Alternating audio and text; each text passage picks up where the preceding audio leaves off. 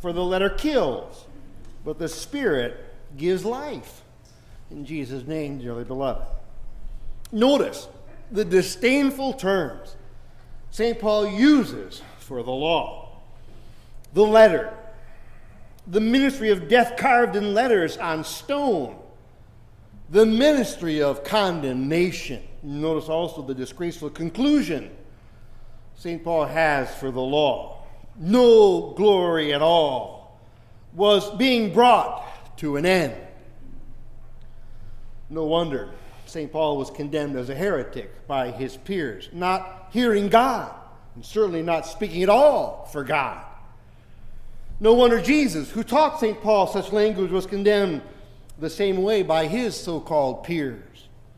No wonder the hearing and speaking of Luther and you and me and anyone else who echoes such faith, such language, is condemned by their peers as heretics because the law and its works is the only righteousness this world will ever praise and reward. How dare you say the commandment, you shall have no other gods, kills? We preach a much more popular, way more optimistic view of the law. We say this commandment and others like it is the ministry of the Spirit. How dare you say the preaching that commands people to love the Father, the Son, and the Holy Spirit with all we have and are is the ministry of death carved in letters on stone. We say it's the ministry of life. And how dare you say the commandment to love your neighbor as yourself is the ministry of condemnation. Everyone knows, the world knows, and we know it too. That commandment and others just like it is the ministry of righteousness. Well, that's what the goats in the parable of the sheep and the goats believed.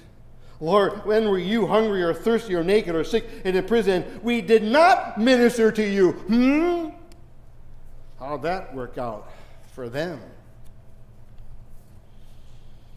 The law and its works, no matter how they glitter and shine in the eyes of this world, in the end, do not will not, cannot declare anyone righteous in God's sight, not now and certainly not on the last day. Only Jesus and his works can do that.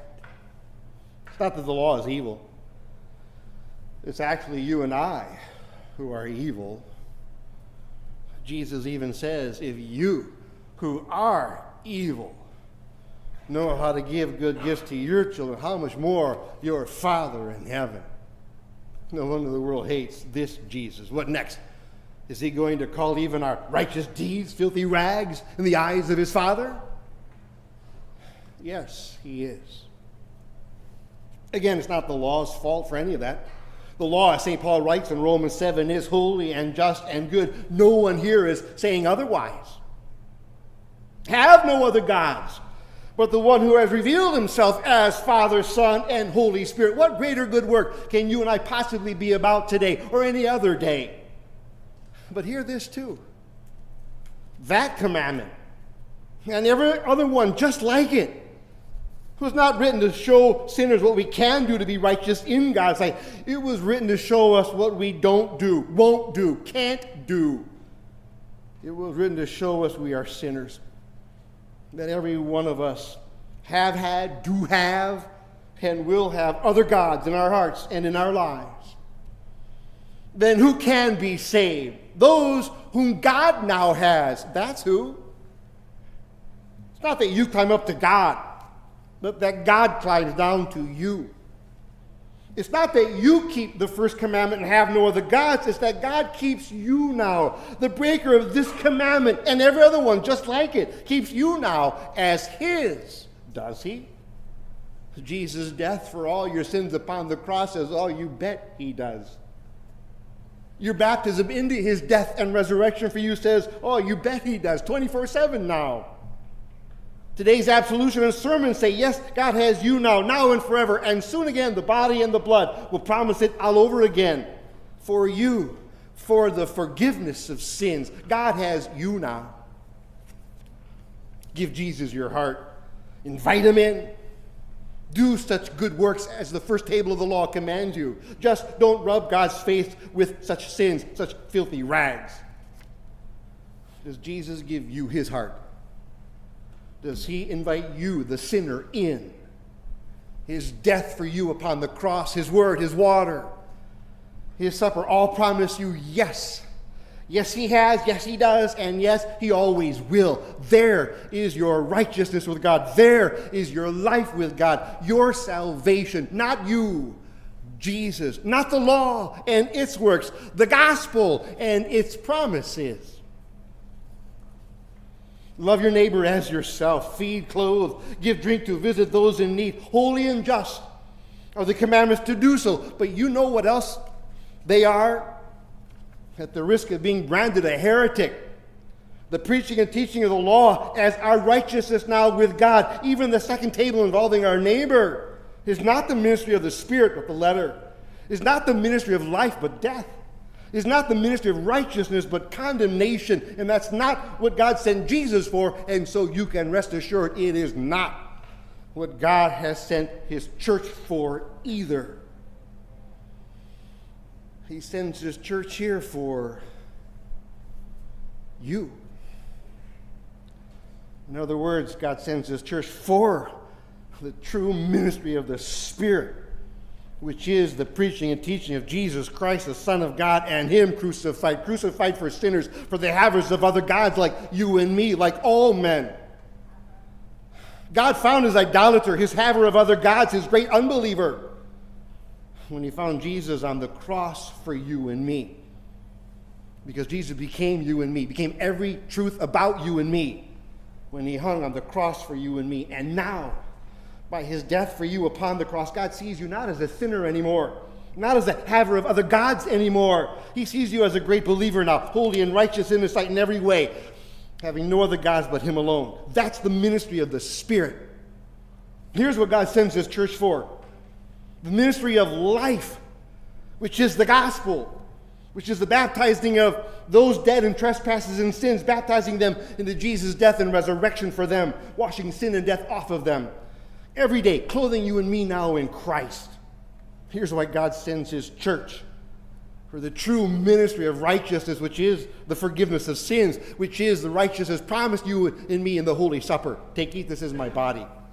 Take, drink, this is my blood, given and shed for you for the forgiveness of sins. That's why God sends his church, because the forgiveness of sins is the only righteousness God recognizes in this life the only righteousness he himself will ever praise or reward in this life.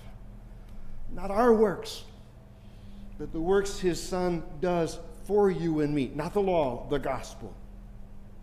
And here's the great Ephphatha from God for you and me today.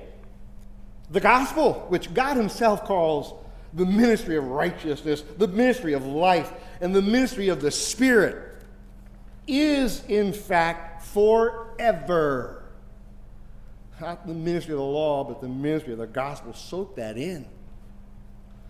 Take that to heart.